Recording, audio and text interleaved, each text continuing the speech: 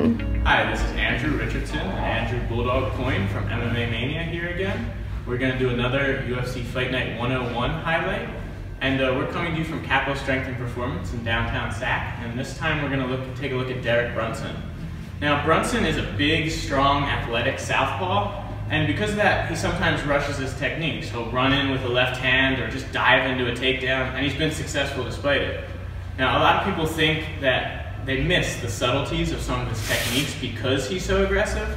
But Brunson showed some really good left hand setups in his last few fights, and he's won them all by knockout, so they're working out for him.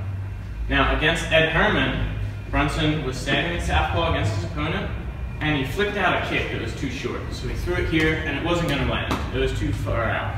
But he just loaded it and came back and planted. Now, once he planted, that hip's loaded, and he can spring off it. So a little bit quicker, he comes here, he came back, sprung, and cracked Herman. Herman got rocked, he followed him to the fence, and he knocked him out.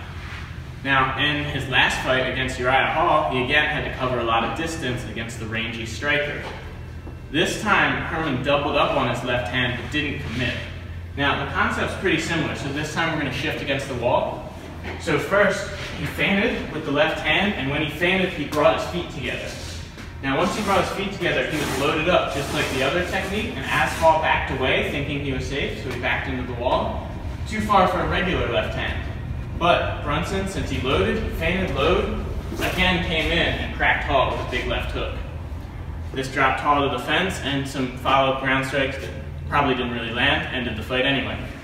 Against a fighter like Whittaker, who's really going to try to maintain his distance and avoid the takedowns of Brunson, some of these key techniques to close the distance with the left hand, they could come into play.